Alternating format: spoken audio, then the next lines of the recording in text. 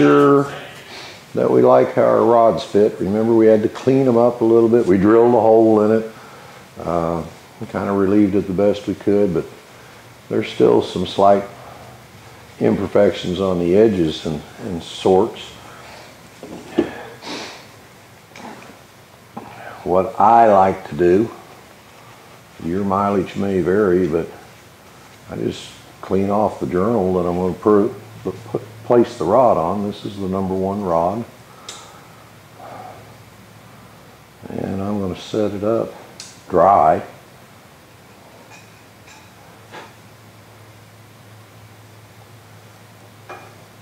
Remember that the wrist pin goes towards the cam, so I'm just going to slide it on as it would go when it was happy, happy, happy. And I'll tighten this thing down and if it's like normal, um, the rods will probably make a little contact on the radius. This is a new scat crank. So the journals are probably what, well, seems how the crank was supposed to be made off of uh, the Ford drawing as far as bearing sizes. Uh, it'll probably be a little snug on the radius and just have to take a babbitt knife and kind of clean it out so we don't have any contact. And as you can see, that's kind of stiff. So I'm just going to tighten it down, wipe it back and forth here a time or two, and I'll show you what I'm talking about. It's, it's dragging, and so being, since I have it on there dry, it's going to shine up the babbitt in the place of contact. And like I said, I think what we'll find is the contact is going to be in the radius. Uh, these are reconditioned rods. I don't pour my own rods. I have my own reasons why I don't. Mainly because I get an engine and it might have a 625 gram rod and a 578 It's kind of hard to take that kind of weight out of a rod because there isn't a whole lot to work with. But if we look at this rod cap, it's kind of marked up here just where they cut the radius. Uh, sometimes they cut these things just a little too snug for us. So I'm going to come in here and just drag my knife where that real shiny spot is and just get rid of it.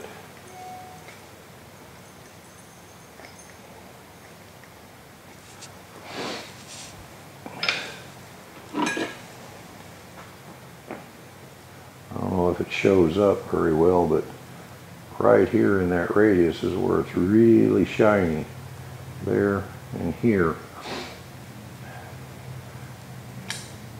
So I'm just cutting that out of the way. The thrust is so you have, the thrust is this surface, the radius doesn't need, doesn't come in contact with anything.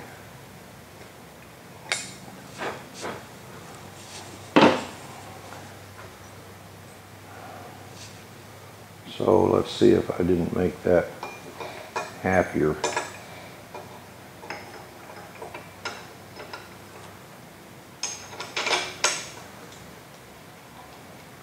Again, we have our rods all indexed and marked so we don't put the cap on backwards or we get the wrong cap on the wrong rod.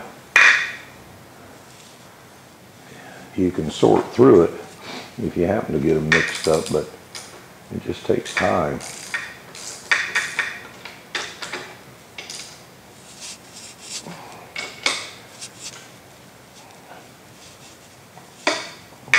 Still have a little bit of drag on it.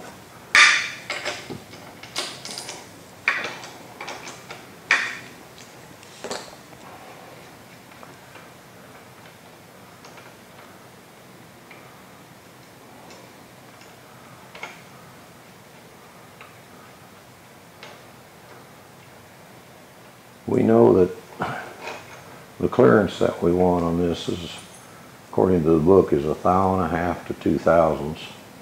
I like to shoot for the thou and a half number.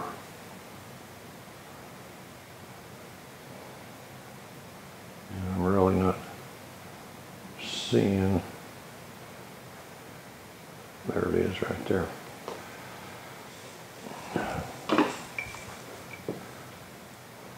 There it is right there. So just take a bit that.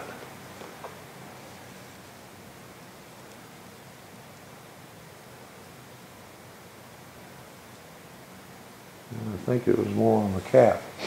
So I know that the, I know that it's fitting on there snug. It's too snug, too tight. I don't know what all the clearance is. I know I measured the rods before I took them apart and they were cut to the spec that I wanted, a thou and a half clearance. This uh, crankshaft is one inch, 248 and a half thousandths. And so the rods with a thou and a half cut clearance would need to be cut to an inch and a quarter. There's a product that I like to use called Time Saver.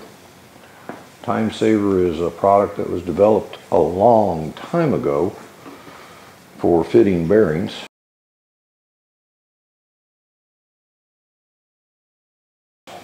You can mix it up, it's powder, mix it up with a little lightweight oil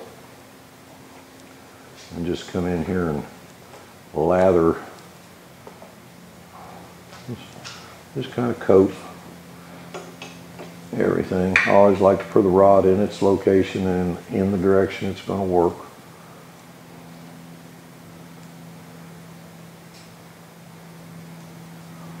Just put a little bit on the thrust edge and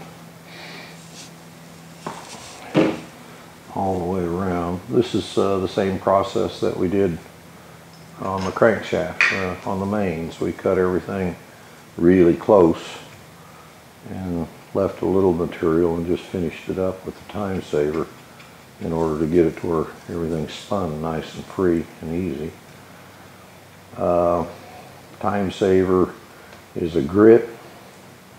Uh, it's a material that doesn't embed into the uh, babbitt. Uh, if you read through the directions, it even tells you that you can fit it and call it quits and get on down the road and start running it. I like to go ahead and wash it all out, but you want to sneak up on it. I don't know if that's picking up on the sound, but you can hear kind of a little gritty sound.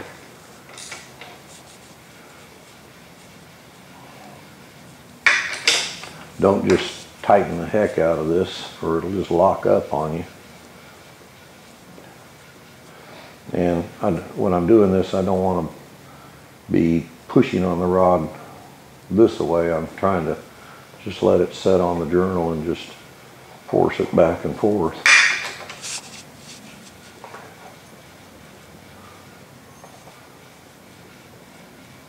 And like I said, I don't know if you can hear that, but there's a little gritty sound to it where it's removing the material.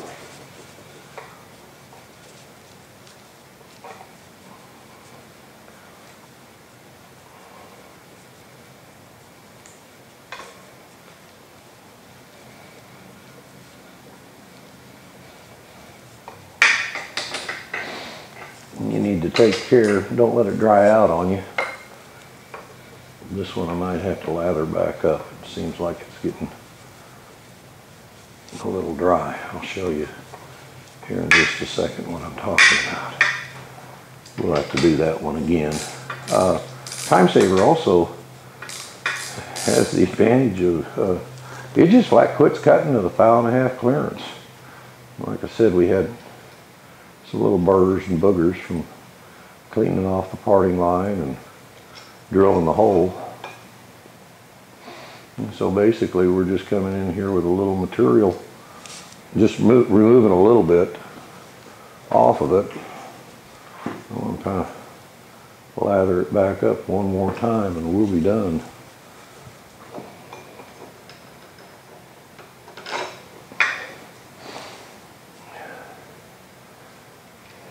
is it necessary? Oh, those rods probably would have got happy. I mean, you would have, first time you drove it, after you got, you know, a few miles per on it, Babbitt will move around.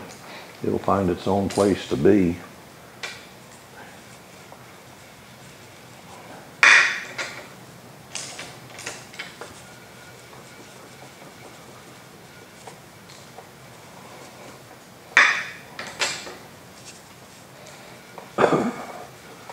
Torque on the bolts is 35 pounds.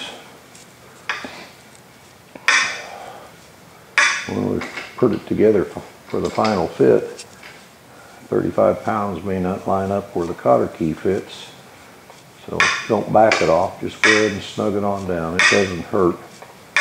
Uh, you're, you're just stretching the bolt a little bit at that point in time. Reconditioned rods will always have new bolts in it, and I'd recommend if you're pouring your own rods that you would replace those bolts.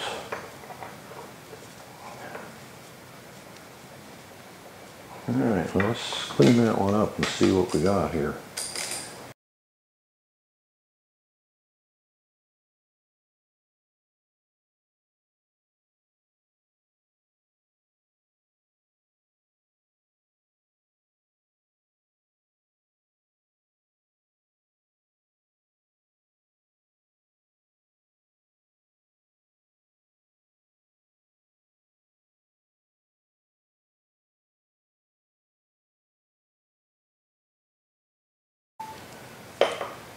Okay, so we're gonna wipe a little, right now I'm just using some transmission fluid. When I go to do the final assembly, we'll put, we'll use some engine oil. There's all kinds of stuff, break in this break in that. And I find that thirty weight or twenty weight or whatever oil you're gonna run in your engine works just as well.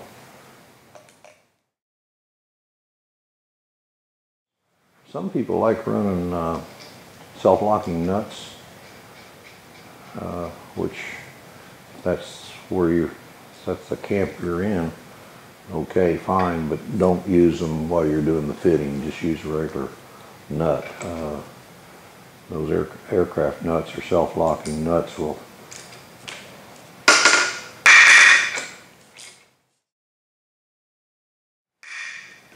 And we got a little bit of side play in it, thrust.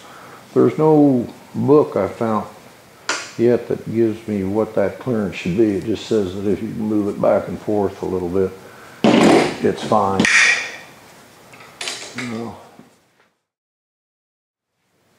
I still got just a little bit, just a little high. I'll go ahead and take it apart and do one more round of time saver in there that'll be happy. Can, real quickly though, before I do that, like I said, time saver quits cutting.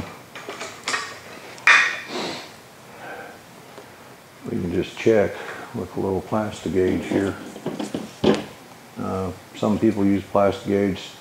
Some people like to use the paper uh,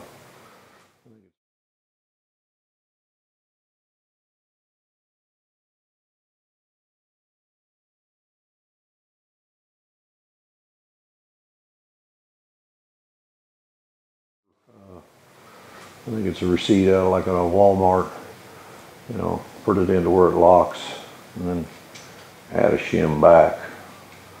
Plastigauge, if it's fresh, will give you a fairly good idea of where you're at.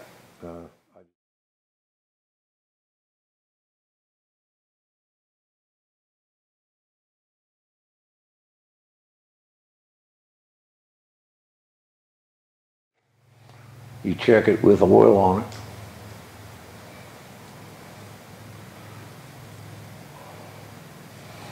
Make sure that you have oil on the cap. Put my little piece of Plastigauge up here.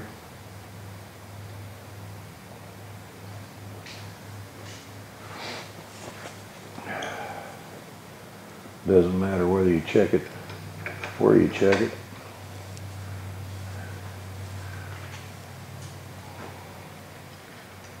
Just don't, don't spin it after you turned it on. I was,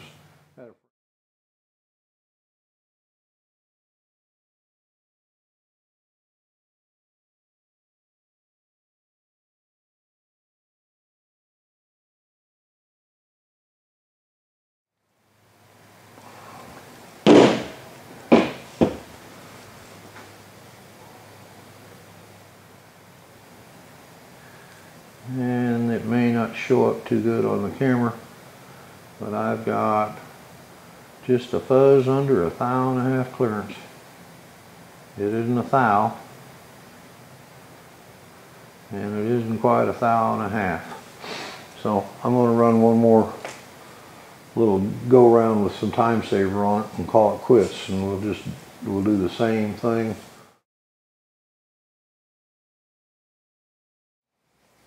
Wipe off my Plastigauge and we'll do this one more little go around with the time saver and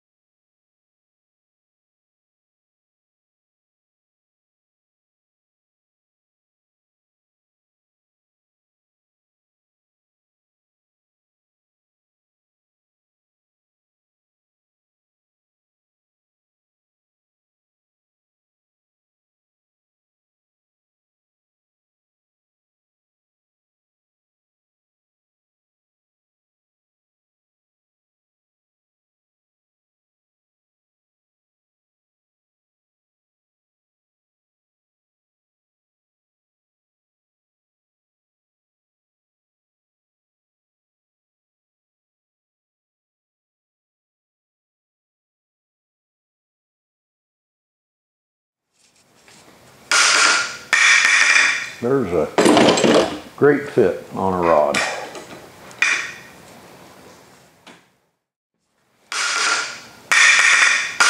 That's what you're looking for. That's a thou and a half clearance. I got some side play in it.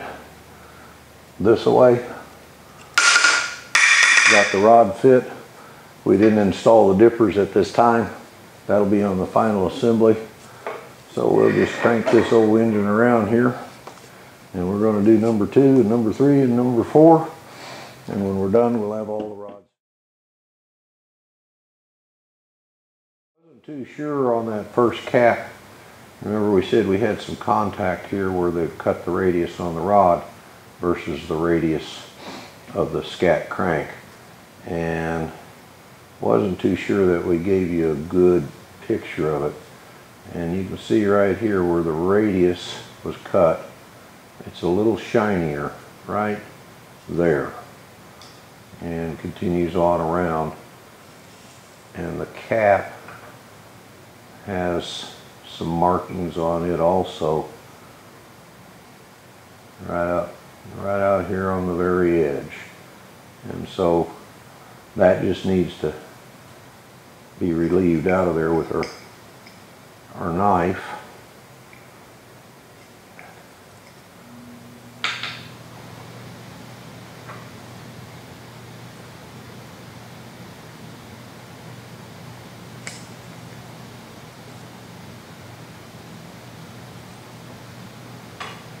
we got just a little bit right in there. So I've relieved those two areas, so that's not an interference anymore. And we'll go ahead and time save out number three.